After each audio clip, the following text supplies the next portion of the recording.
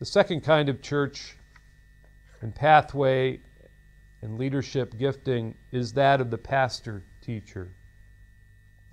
Now, there's an interesting thing in the Greek language when it comes to pastors and teachers, and that is that according to the most recent analysis of the Greek of this passage, what it is saying is, is that every pastor is also a teacher, but not every teacher is also a pastor. That's the construction of this Greek phrase with the use of the word and. And we see this in real life. You can go to a Bible college or a seminary and you can see a person who has a gift of teaching, but they're not a shepherd. They wouldn't do well in that role. But every shepherd, every pastor of a church needs to also teach and is gifted to do that. Although they might not have a special, strong gift of teaching like a teacher. And so the person who is the pastor teacher is going to want a broader approach to disciple making. Probably not going to do just five different teaching times every week. They will move a church oftentimes to where there's an emphasis on small groups because they believe that there needs to be not just one shepherd, but many shepherds shepherding many groups of sheep all over the church and all over the city. And so they will move toward more small groups and maybe Sunday school and maybe missional communities or some kind of a of a different under shepherds guiding God's sheep and not just relying on one teacher to teach all the time. They still will teach in a worship service, but they'll multiply small groups and they'll often also emphasize one on one disciple making. They'll emphasize that they will meet with a person and help them grow one on one. And then they encourage people in the church, everyone, to make disciples, to meet one on one, to help another person grow, who can then help another person grow. And pastor teachers often have this passion and this direction. And then we have evangelists. In America, we often call these now seeker driven churches because the front door of the church is Sunday morning and the front door of the ministry of the church, of the disciple making pathway, is that the Christians are encouraged to bring their non Christian friends into the worship service on Sunday morning that is specifically designed for them as a non Christian. And we call these seeker driven churches. Now, in the old days in America, we had Southern Baptist churches where pastors were gifted evangelists and they would preach the gospel every Sunday, and people would be saved, and the church would grow, and sometimes it was a mile wide and an inch deep. All these baby Christians, all these new Christians coming in the front door of the church, becoming a Christian through the evangelist pastor. And if that evangelist pastor didn't broaden his team, so that there were also pastor teachers creating small groups so that there were one on one disciple making going on, so that there were also those who were sent ones who wanted to send people around the world in missions. If that didn't develop, then the church was a, a mile wide and an inch deep. And then in the north, the innovation was that Bill Hybels started Willow Creek Community Church. He's a gifted leader and a gifted evangelist. And so he took 100 high school kids and they began to meet in a movie theater. And when I was a student at in Chicago. I visited this church early in its history, two years after it had started, and the word was that in one year they had seen a thousand adults come to know Christ who were the parents of these hundred teenagers and college kids who had started the church and their family members. In one year, a thousand people. What a gift of evangelism. And this church has continued to emphasize bringing your friends, bringing your family, hearing about Christ. And Bill Hybels is such a gifted evangelist that now the church, I think, has 20,000 people.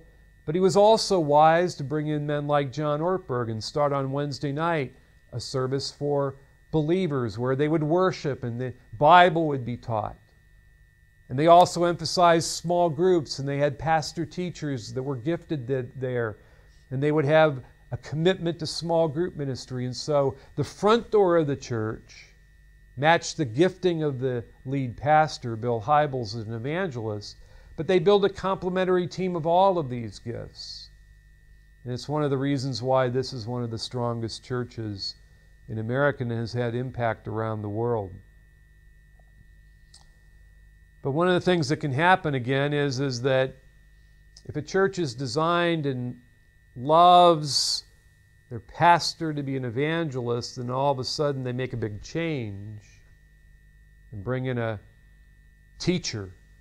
Sometimes there's a lot of people who say, We like the old wineskin better. Why this change?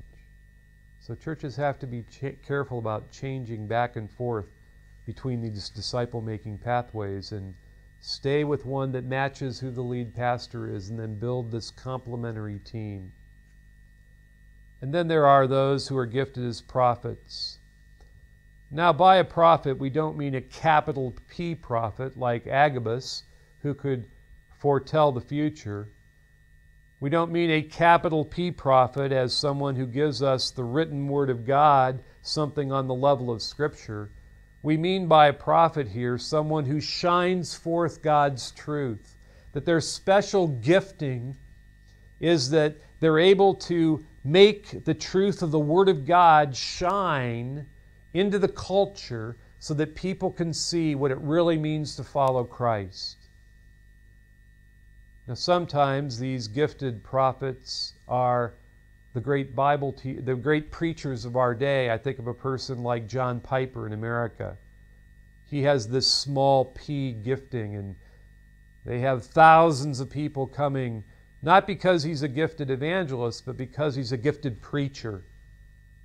But then there's another form of this small p prophet and the truth driven pathway. And Erwin McManus is an example of this. He's the pastor of Mosaic Church in, in Los Angeles. This is a smaller church. It's not thousands of people, it's a few hundred people. Because Erwin McManus is not especially interested in a large, big, dynamic church. He's interested more in what he calls being an experimental church. And he talks about going to a conference one day, and the speaker was saying, Now,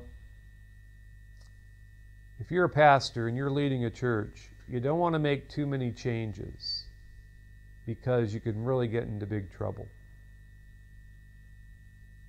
And you can be like someone who's going out to gather mushrooms and you pick up a poisonous mushroom and you're poisoned and so it's better not just to make too many changes.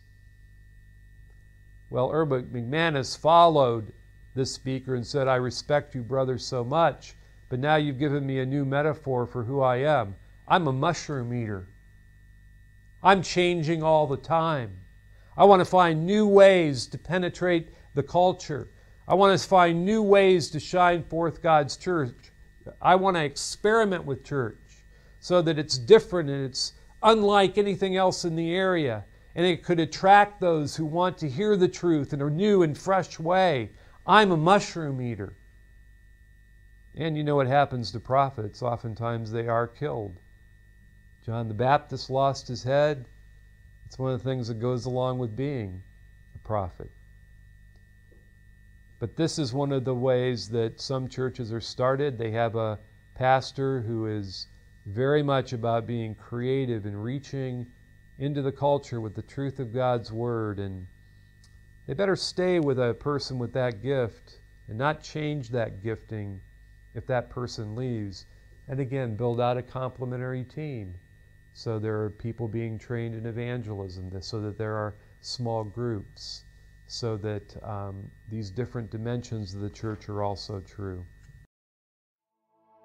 We invite you to participate in the International Bible Teaching and Gospel Sharing Project.